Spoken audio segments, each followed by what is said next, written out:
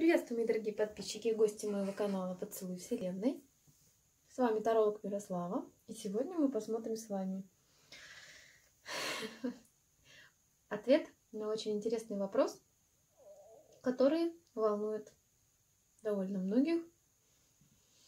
Сообщит ли Владимир Владимирович Путин в новогоднюю ночь нам о том, что он передает власть кому-то.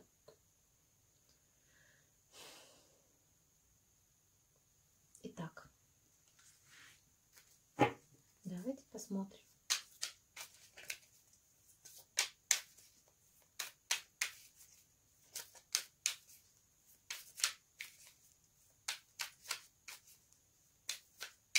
Ну и вообще, что мне прям захотелось спросить, а любит ли Путин Россию?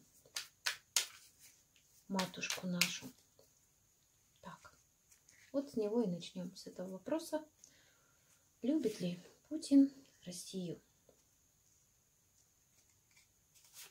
Еще, еще, что он думает вообще по поводу нее, что планирует делать. Так, ну и по поводу, собственно, новогодней ночи. Сообщит ли нам наш президент предприятнейшее известие.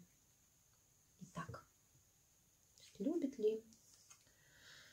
Ой, ну по повешенному, конечно, относится серьезно, но замучили мы его, замучила его эта ответственность. Тяжело ему с нами, тяжело управлять таким большим государством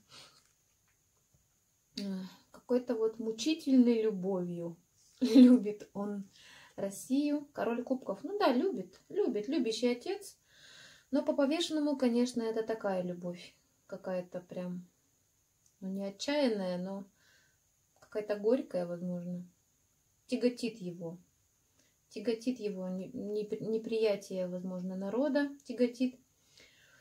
Либо же тяготит то, что происходит все эти коррупционные схемы, системы. Ну и последняя карта, что нам скажет? Ой, ну тройка мечей. Ой, ну смотрите, я не могу сказать, что он не любит Россию, потому что король кубков это у нас любящий отец. Человек, у которого большое сердце, в общем-то, великодушный человек. Но в таком окружении, конечно, это такая любовь, не на взрыв, но болезненная очень любовь. По тройке мечей тут разбитое сердце. Человек плохо спит явно. Бессонница. Возможно, какая-то безответная любовь у него по отношению к России. Он ее любит, а она его нет. Интересно, конечно. Ну и мучается, конечно, он по этой карте. Тяжело ему. Любить Россию тяжело, но надо. Ну и посмотрим, что, что же ждет в новогоднюю ночь. Так, какой-то выбор. Старший аркан, девятка мечей и десятка кубков. Угу. Так, интересно.